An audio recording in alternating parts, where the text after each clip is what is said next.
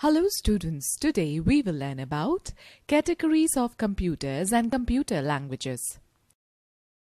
Students, you carry different types of bags to different places depending on your requirements.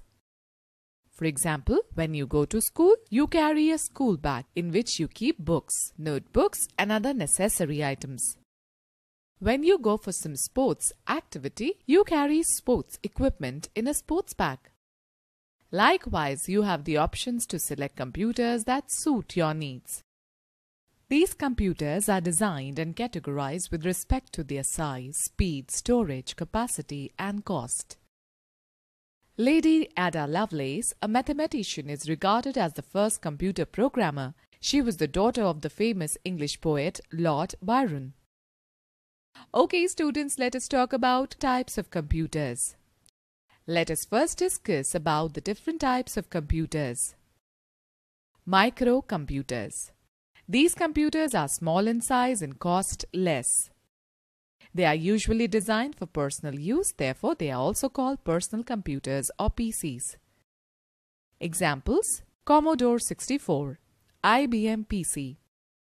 They are mainly used in homes, schools, offices, shops, banks, etc. Following are the various microcomputers that are given different names according to their usage. Desktop computers. These computers are designed to fit comfortably on top of desk. Desktop computers typically come with several units such as monitor, CPU, keyboard and mouse which are connected to each other and work like a single unit. Laptop computers. These computers are small in size and can be placed on the lap. These are battery operated and portable. We can perform all the tasks on it as we do on a desktop. But laptops are more expensive than desktop computers. These computers are mainly used by people who travel a lot. We can fold down the screen of laptop onto the keyboard when not in use. Laptops usually have 13 to 15 inch screen. Tablet computers. These computers are smaller and lighter than laptop computers but bigger than smartphones. Instead of a keyboard and a mouse, tablets use touch-sensitive screen for typing and navigation. Tablets have 7-inch, 8-inch or 10-inch screen. Popular uses of tablets include reading, e-book, watching movies, viewing photos, browsing net, etc. Palm top computers. A palm top computer is a small device that can fit in the palm of your hand. The device has similar features as that of a computer. It has a small screen and compressed keyboard. Some of these computers replace a keyboard or mouse with a pen that serves as the input device.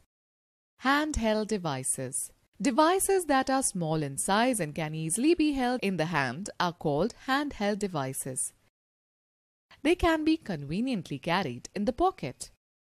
Smartphones, tablet computers are a few examples of handheld devices. The handheld computers are also called Personal Digital Assistants, PDAs. These devices either have a touch-enabled display screen as their input or output interface or a simple display unit with a keyboard. Like a desktop computer, these devices can be used to perform any task. Smartphone A smartphone is a handheld device that combines features of a personal computer with other common features of a mobile phone.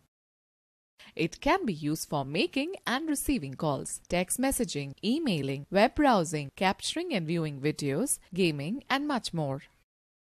Game console. A game console is a device used to play interactive video games. This device is equipped with a display screen, game controls, joystick, buttons, and speakers. It can also be connected to a television or a computer and in that case, the user interacts with the game through a handheld controller. Examples of game consoles include Microsoft Xbox, Sony PlayStation, Nintendo GameCube and Nintendo Wii. Embedded systems. An embedded system is one that has a computer hardware with software embedded or implanted into a larger device. It comprises of all the essential computer components like CPU, RAM, ROM, input and output medium, but does not have disk drive, keyboard or screen. It is designed to perform a specific task for example, TV sets, vehicles, telephones, digital cameras, washing machines, microwaves, printers, dishwashers, and medical equipment are the devices that are controlled by embedded systems. Embedded systems are also called microcontrollers. Students, let us understand the concept of embedded computers with the help of the given example. In a microwave oven, the role of embedded system is to take instructions from the user through the keypad and translate them into commands. These commands are then passed on to the microwave to obtain the desired output. Suppose you want to cook noodles in a microwave. You will put the ingredients in a bowl and place that bowl on the glass tray. Set the timings for it and press the start button. The microwave will stop as per the timings set for cooking the noodles. All this is handled by the embedded computer of the microwave. Mini computers. These computers are bigger in size than the microcomputers, typically being the same size as that of a refrigerator. They have a higher processing speed and are costlier than microcomputers. These computers are capable to support about 4 to 200 users simultaneously. They are used in banks, universities, and in other big organizations. For example, PDP-8, HP 2100, Microvax 3100. Mainframe computers. These computers are very powerful. They are big in size with a large memory and high speed. They are designed to tackle huge amount of data.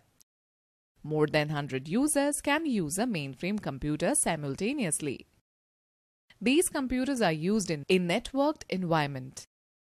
Mainframe computers are very expensive and are mainly used for bulk data processing in large business organizations, universities, banks, scientific laboratories, airline and railway ticket reservations, stock exchange markets, etc.